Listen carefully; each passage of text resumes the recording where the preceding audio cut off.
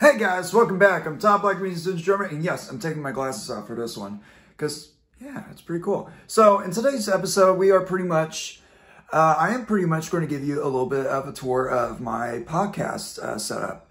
So, if you don't know, I have this podcast called Essential Drummer Podcast, and so it basically, in this show, I talk about some of the common things that people probably don't know, or uh, some things that people probably do know, but they don't know how to expand. So there's a lot of great stuff on there. And I'm constantly uh, making some episodes. So uh, I'm on Spotify, um, Apple Podcasts. So that's a little bit of uh, my thing. I talk about like some musician stuff. But anyway, this is about my setup, not my podcast, but my podcast setup.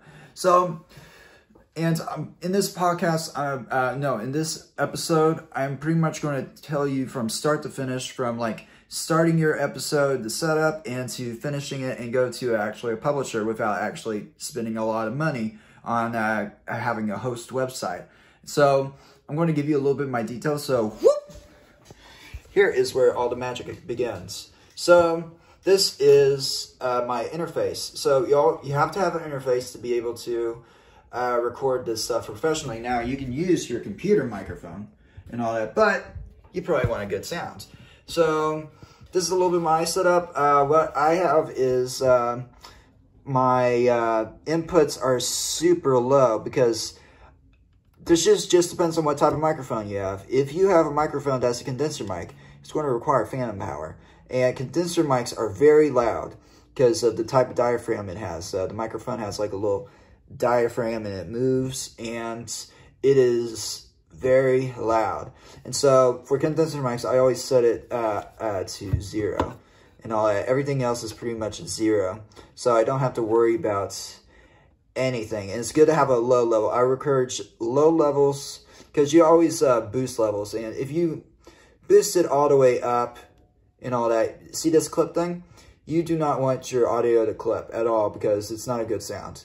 Uh, you want to try to have levels uh, down and then gain stage a little bit. So with this setup, it's USB powered, so it goes uh, all the way to my computer. Hey, it's Pete the Penguin. Stop showing your ass. There we go.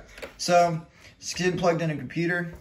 And first, before we get to the computer, let's uh, follow this uh, wire down here. Woo! Oh, hello, sexy thing. So this is a common microphone that a lot of people actually use. Uh, condenser mic. So this is, and actually, um, uh, recently, I've been hearing about uh, Billie uh, Billie Eilish uh, actually using this microphone for recording uh, some of their stuff. So this is a condenser mic uh, from Audio Technica. I actually got this for uh, hundred dollars uh, for my birthday, actually, and uh, it's a AT2020 and nothing Star Wars related or year 2020. And so what it, this is, this is a cardioid condenser mic. Let's uh, try to get that in focus. There we go, cardioid condenser. And you see this little thing right here? That is actually the shape, recording shape. And so this is a cardioid uh, microphone. And that what it means is uh, recording shape. It has a recording shape of this. And there's some microphones that are omni, uh, records all round. There's some um, microphones that just record like a very narrow path, like dynamic microphones. But this uh, condenser, it records um, um, a cardioid, so it gets a little bit of, it has like a heart shape. So this is a cool microphone that I use. I love it. And so now let's get to the computer. So this is a little bit of my setup and how I set it up is that each um, each channel is an episode. So I already have episode eight I already done with seven, six, five, four, three, two, one, and I just got rid of them. That's just me. And so with, um, you can see it's recording a little bit because it's already been on for a while. And I usually have uh, the eye on sometimes.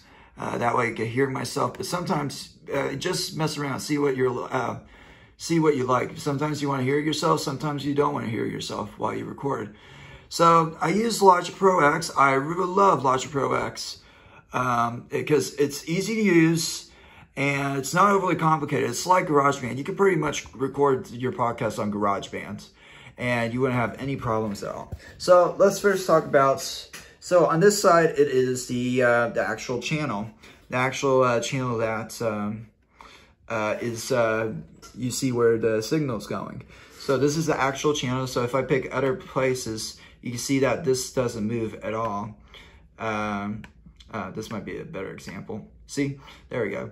So let's talk about the intro and all that. The intro, I pretty much uh, don't have too much going on. I have a little bit of reverb, a little bit of compression, uh, not too much compression. So if we play this, you can see a little compressed. So this is a little bit of my settings uh, that's going on. So let's get rid of that. So let's see here.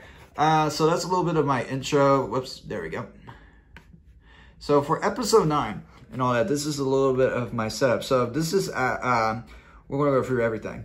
So we got speech enhancer, compressor, uh, channel EQ, de-esser2, and all these are actually Logic uh, uh, plugins uh, that uh, come with uh, Logic Pro X. So we'll get to the speech enhancer later. So compressor, this is pretty much my setup a little bit for my compressor. I don't have anything going for gain. I have a little bit of the threshold. I have my ratio at this number. I don't have any makeup gain, but I have auto gain uh, to where it's uh, negative 12 decibels. And my release is this, uh, attack is this. I don't usually do auto and all that. Knee real is not that important. So this one, distortion, all that does is just uh, tries to, it automatically becomes a limiter and also automatically tries to bring the signal uh, really up. So it's really cool. And uh, for the sidechain, all I have it as is peak and there's really not too much. I don't have any filters going on, so that's pretty much the whole setup for the compressor. Um, let's see here. So we got EQ. So EQ is just pretty much uh, changing different frequencies. And so what you really don't want low end frequencies because, well, so, unless you're a real deep voice. No, so pretty much all these levels are pretty much good. Uh, it's just you want to just kind of um, like lower it just a little bit. So you just uh, by like minus 1.5 decibels, and then this one is uh, uh, 24 decibels and all that. So, and you can't go wrong with presets and all that. So um, look up for the presets and uh, you'll find uh, your sweet spot. Got a de-esser, so I really love the preset for this de-esser male vocal. And so it does, it does its job. So all right, let's. The reason why I skipped talking about this first is because there's a special. Logic Pro uh, X has secret plugins, and not a lot of people know about uh, these uh, secret plugins. So the best way to find speech enhancer is you're going to hold option, and then you're going to click, and you will find this thing called Legacy. And this is a plugin I'm demoing. It's really good. Uh, Legacy and you find all these hidden, these are secret plugins. And so I go to the speech enhancer. Now I got speech and enhancer already here. And it's a little bit of my setup, which is I denoise it by negative 40 decibels. Um, the mic model, they don't have the mic model I have because uh, there's such a big mic selection, but this is pretty much all based on um, your uh, computer mic but I'm using this for my condenser mic. So I don't have mic correction on, but I do have voice enhance. And what this does, it actually, it's like a denoiser. It actually focuses on the voice and gets rid of background noise. And I, in my opinion, I kind of feel like this actually does better than the Waves uh, noise reduction plugin. Because, um, well, they probably have different setups um, for this, but I really love um, Logic's uh, version of this. And so I have uh, male solo. So that's pretty much my setup for my uh, channels I record. And so it sounds really cool. So listen to my podcast and you actually uh, hear what it sounds like. And let's get to the master um, uh, chain. So the master chain, I pretty much have several things going on. So first off is the IM pusher, which is the infected mushroom pusher. This is uh, actually a tool used for kind of a little bit of mastering. If you're doing EDM stuff, this is really great. If you're doing like rock stuff, um, well, it's, uh, it's uh, let's just say it's optional and all that. So I pretty much have a little bit of high because I want to hear, uh, and this is all about uh, what your preferences are. Uh, some people want to hear high frequencies. Uh, some people want a little bit of magic. And focus is pretty much like focusing on a little bit of the voice because the voice is this uh, focus point here. So I have the low end off because you really don't hear my boomy voice. You don't want that type of thing. And pusher, I have a little bit of pusher just to maximize the sound. And my output is on negative 0.8, so I don't have uh, clipping or anything. And so I got a little bit of stereo spread. The input is just zero. And so that's pretty much that. Uh, direction, uh, direction mixer is pretty much like just to spread out uh, a little bit, like uh, get to, to, like a little bit more stereo. Spread actually uh, kind of softens a little bit of the frequencies. It, it kind of like softens it up. So I usually have my settings up like this. Uh, and I usually just spread out the middle, um, a little bit of the middle low. And uh, that's how I like it a little bit. Uh, it sounds nice that way. Next is, I have this preset uh, preset here, um, voiceover EQ from Logic. And uh, this is just a normal channel EQ, not a linear EQ. So I like that one. that has a nice sound for um, podcasting. Now, adaptive limiter, this is a key thing because you don't want clipping in your tracks. So with the IM pusher in this, this is kind of like an adaptive limiter a little bit, uh, this section right here. But it has negative, uh, I usually try to get as low as possible a little bit, but not too low. Because uh, every time you lower it, it kind of uh, does something funny in my opinion. And so I just lowered a little bit. So the total of out of ceiling uh, for um, this true peak detection make sure you have that on too. So for the peak detection, I try to have it uh, around like maybe uh, minus, uh, 2 decibels. So right now it's at like minus 1.6 decibels. So that's the importance of that. Now the next thing is metering. You want to just uh, make sure that metering is really important for this. So there's only uh, um, two things or just one thing to really uh, look for is the LUFS meter or the peak meter. You don't have to worry about correlation. All that is is uh, just seeing if your tracks are in phase or out of phase. Red is out phase, green is in phase. LUFS is pretty much uh, what it actually stands for. I don't know the whole uh, thing that stands for, but basically it's a loudness meter.